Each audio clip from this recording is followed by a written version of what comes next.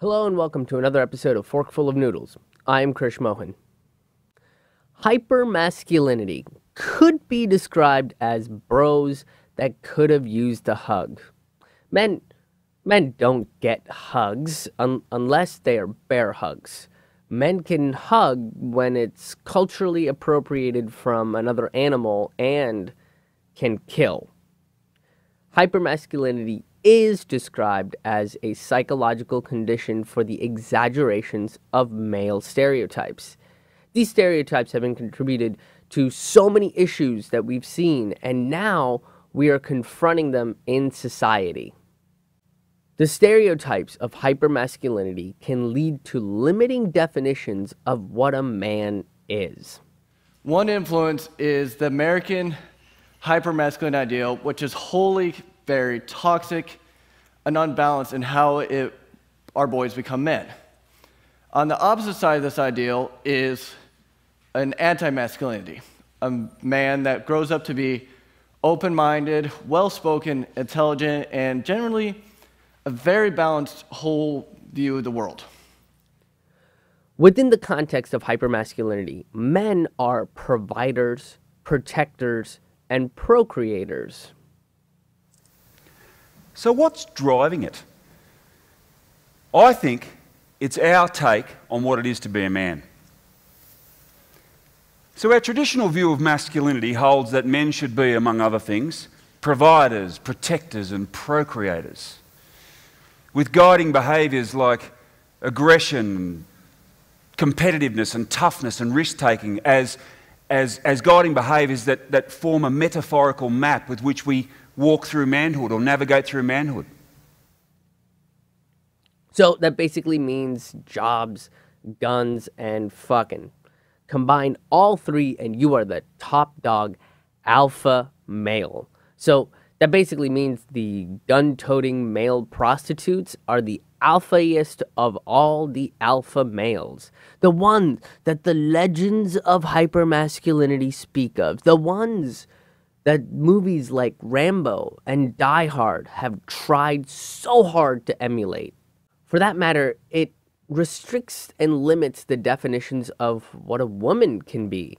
With restrictive definitions of what a man is, it ensures what a man isn't. Men cannot show emotions of love or grief or fear. Those are reserved for females. You know, but they they can hug without killing, but if a female hugs a man, she is also risking her life because of that earlier restrictive killer hug rule we talked about. Things are even restrictive in what men and women can wear. Joan of Arc is a prime example of those restrictive ideologies in full effect. Joan of Arc was a French hero. She was thought to be a prophetic figure that was supposed to bring glory to France in the early 1400s and the coronation of King Charles. This makes total sense. French crowns are very decadent and shiny with their jewels and their gold. So the coronation of a real man can only come from a woman's love of shiny shit since that was the common thought of the day. It, it's either that or uh, or a monkey could could do it because they also like shiny shit. But you know, monkeys don't live in France. It's uh, it's way too turbulent for monkeys. Despite the challenges of gender stereotypes of the day, Joan of Arc was confident that she would lead the French to victory because she had spoken to the Lord, and they said it was totally cool. She also cut her hair and dressed like a man in the heat of battle. And when she was executed, she was accused of heresy and witchcraft and dressing like a man, along with 70 other things. Now, the heresy and the witchcraft was because she claimed that she could talk to God. And at that point in human history, the belief was that women's ears they were uh, they were just too weak to hear the voice of God. You know, a big booming ethereal figure speaking to the dainty, soft ears of a woman was sure to destroy her and just leave two smoldering breasts in the wake. The fact that dressing like a man was a crime is kind of peculiar. In fact, it was declining those allegations that signed her death warrant. She denounced her divinity, effectively breaking up with God. I mean, God God took it pretty hard and hasn't been seen since. But she wouldn't denounce the clothing. The English wouldn't have it because because they wear the pants in this authoritarian, imperialist, globalist domination. So they burned her at, at the stake, which I doubt God would have been happy about. Now, I think Joan of Arc was trying to spare the egos of these men, right? If if the English soldiers were beaten by a warrior in a frilly dress and a corset and a gorgeous pony with bows in her hair, they would have probably gone insane. Women were considered to be these fragile bringers of life and they needed to be protected so when that life makes it out into the world, men can destroy it. And usually these are men that are, you know, all about preserving and protecting the sanctity of life so they can destroy it. Hence our society's current obsession with never-ending war. But the egos of hypermasculinity are so fragile that in order to preserve their stereotypical roles, they had to make sure that she was killed. And a major part of these issues in hypermasculinity and the and the behavior is the size and fragility of the male ego. The hypermasculine ego is like a frozen ocean. It's vast, it's ever expanding, and it's trapping a lot of shit below the surface. And one crack and the whole thing crumbles and we're left wet and struggling in the water because no one taught these men how to swim. Learning shit is also feminine. You, you can't kill anybody with a book.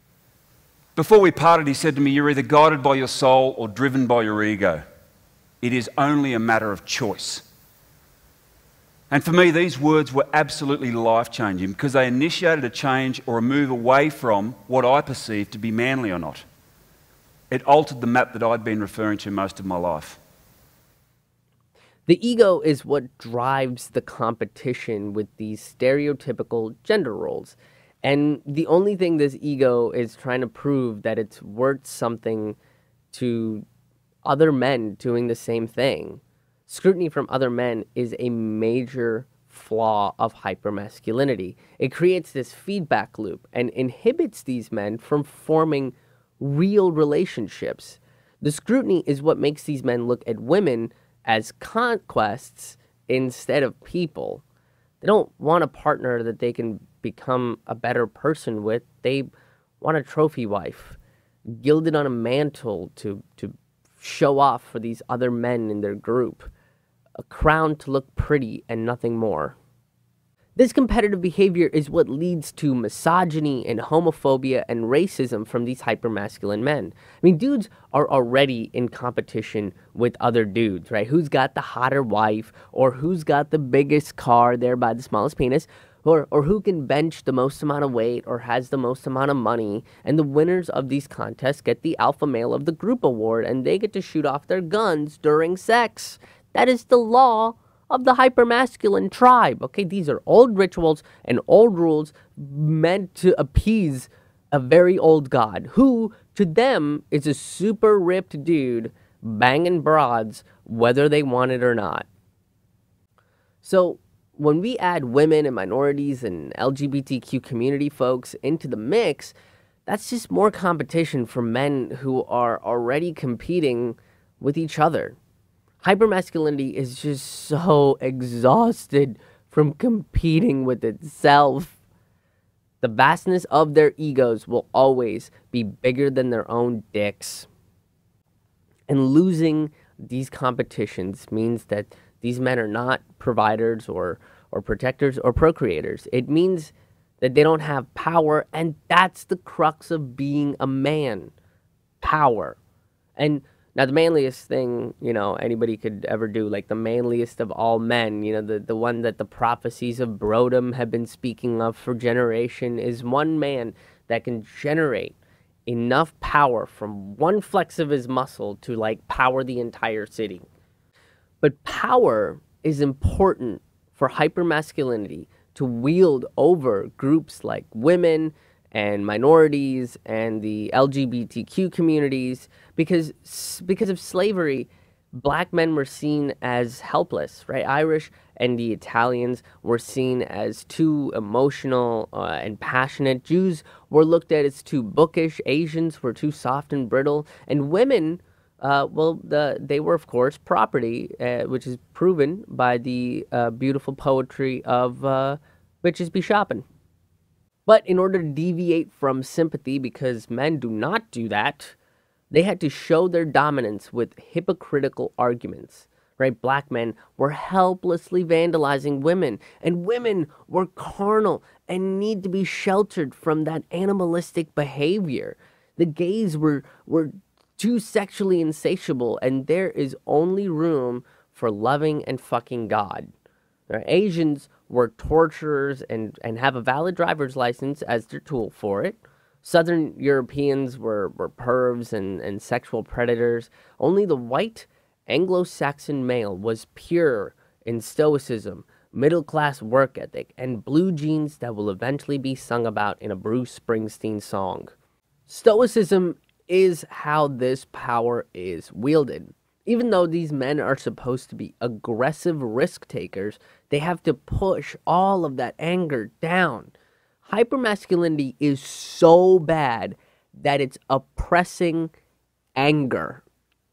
Now, all of this is driven by fear, right? The fear uh, that the ocean of ego will crumble, and all that's left is a hurricane of repressed emotion the need for hugs, and the entire Adele collection. B-sides and all.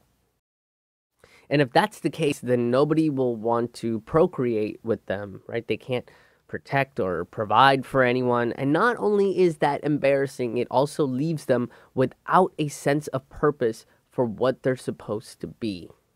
That's a huge revelation about hypermasculinity.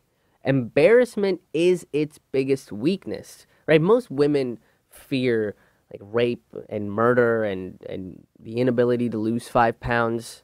But men are afraid that the secrets of liking unmasculine things will surface.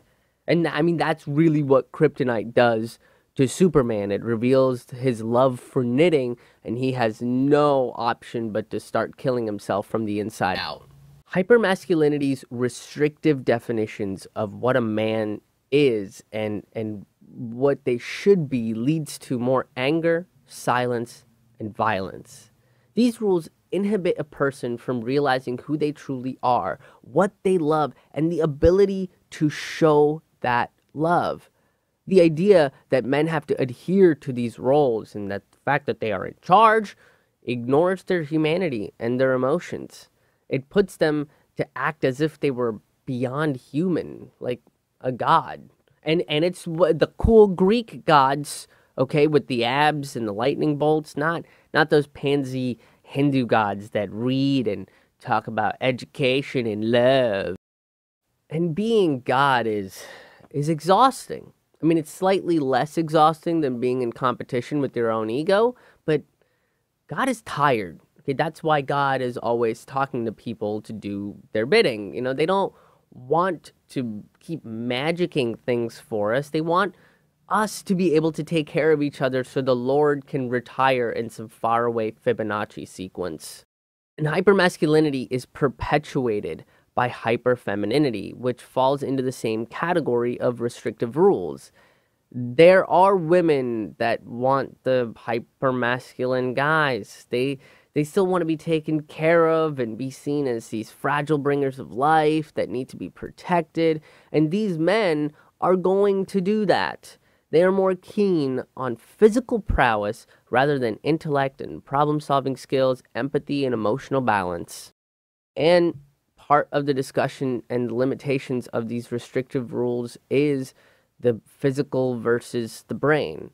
There's a major pushback to intellect, and I do plan on talking about anti intellectualism uh, in the future, uh, full length and more in depth. But the value of physical power versus the mental is an age old argument. Hypermasculinity doesn't care about working smarter as long as you work harder and there's still a purpose for you within these old rules and stereotypes.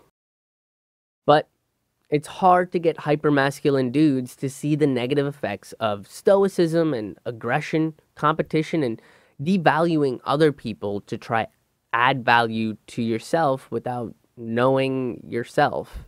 The frozen ocean of the ego breaks, and that water is a shock to the system that can lead to just more aggression. They punch that water, and that doesn't really do anything. You have to ease the transition. It's like going into a pool, one foot at a time, and eventually you'll be able to go all the way underwater, look up, and get a new perspective. And this is where the Me Too movement comes in. This is probably one of the most powerful movements against hypermasculinity at this point, but it has the potential to educate and change gender stereotypes for the next generation. But my concern with the movement is the direction that it'll take. You know, I, I think we should be aware of the severity of the punishment based on the misuse of masculinity and the power that is derived from it. At the moment, it seems like we're just drowning everybody, and that's really not fair. Teach them to swim if you can, and if they're willing to learn. Harvey Weinstein is a monster that was created by an overfed ego, amongst other things. But Louis C.K. wasn't. Now, that doesn't mean that I think what Louis did was okay. I, I don't, but the guy had a fetish and didn't know how to express it. Other men he knew didn't really have that fetish, and neither did they talk about it if they did. So he competed with the other men and his ego, and he lost. Louis is taking time for personal growth, and so is Al Franken, but do these men need to have their lives destroyed just like Harvey Weinstein? You know, do we need to scorch the earth with the memories of semi decent dudes that made an error? How are we supposed to distinguish between something truly horrible that was that derived from a misuse of power and was clearly abuse and and uh, rape and sexual misconduct on the highest level to something that was a slip up but can still be considered a sexual mis- misconduct and still give these people a, a, chance to come back. The same goes for Aziz. And look, I am not defending Aziz Ansari's actions. Everybody knows that he's made my stand up career a lot harder since that's all I get compared to. But he took a lady out on a horrendous date. But he apologized, and she could have used verbal cues and left. Be a badass like Joan of Arc, and you know you could have you could have crowned him like King Bad Date, or or the true master of none. No tact and no class, master of none. And that story has all the trappings of hyperfemininity that could send the Me Too movement in the wrong direction. The direction of shaming men for bad behavior, which leads them to retreat internally, getting angry, and possibly even violent. We can be educating them about the latent hypermasculine tendencies that even tiny men like Aziz and the pudgy dudes like Louis C.K. have. But guys like Aziz and Louis falls in, fall into the trap of hypermasculine conquest without even realizing it, right? Go on a date and treat the other person with some damn respect and not as a receptacle for your sexual frustrations so you can high five your buddies over a, a drink at the bar, right? Hotel rooms are for private and anonymous masturbations that are later revealed on an expose on Channel 4. Hopefully, these men come back uh, into the light as better people that can respect women and themselves just a little bit more. This movement is in its infancy. It can help redefine masculinity and help create a culture of acceptance instead of brutal competition that ends in physical and emotional wounds. This movement can teach men that they can redeem themselves through honesty and letting go of their ego and respecting those that are different than them. Maybe if God would have just opened up a little bit about their breakup with Joan of Arc and how it really affected them. Maybe hypermasculine dudes wouldn't see them as this buffed, ripped, kind of naked dude hanging out in the clouds. You know, maybe maybe the vision of God would be like this super sensitive, uh, nerdy kid that uh, that dr- draws and speaks about the human condition, and how we should learn how to love and accept each other, and you know has uh, majestic, long, be- beautiful hair. Also, atheists would believe that you exist. So there, there's a positive in that too. The next generation needs to see that there are there is some redemption for slip ups and, and what truly extreme behavior looks like. If not, Me Too could slip into perpetuating the problem like hyperfemininity, and that is going to lead to either like no hugs or 100% death by hugs. That has been your forkful of noodles for this week. Thank you so much for tuning in. If you enjoyed this episode, uh, please do us a huge favor uh, and hit the like button and the share button. Uh, sharing is caring, and it is a great way to help DIY independent comedy and DIY independent media such as this uh, reach bigger audiences. Uh, there are various things that are censoring the reach uh, of independent content like this, and uh, and you can change that. You can help us out by by sharing sharing the links um, that that uh, you listen to. Uh, share it with your friends and share it with your enemies, whoever you think would benefit from hearing something like this. Uh, if you would like to come see me live, I have live stand up comedy shows coming up in uh, Johnson City, Tennessee, Knoxville, Tennessee, Montgomery, Alabama, Tuscaloosa, Alabama, Huntsville, Alabama, Memphis, Tennessee, and St. Louis, Missouri.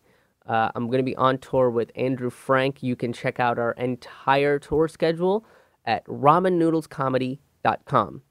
That's R A M A N noodlescomedy.com. Uh, also, while, while you're there, you can check out uh, a bunch of stuff. Uh, we've launched a few new projects. We've updated a few projects.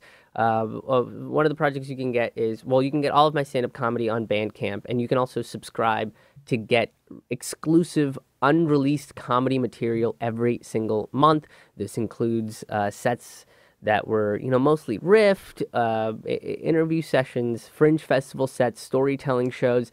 Uh, things that I don't normally do in my in my live stand up act or, or things I only do once or twice in my live stand up comedy act. So uh, that is available uh, at ramannoodlescomedy.bandcamp.com. Uh, and that is only for $5 a month. You can get all of the unreleased stuff. Uh, while you're there, you can check out a new project called The Dispatch, uh, which is somewhat similar to Forkful of Noodles, but instead of c- uh, covering big ideas in depth, it's uh, smaller news stories, big ideas in short bursts, or a couple road stories.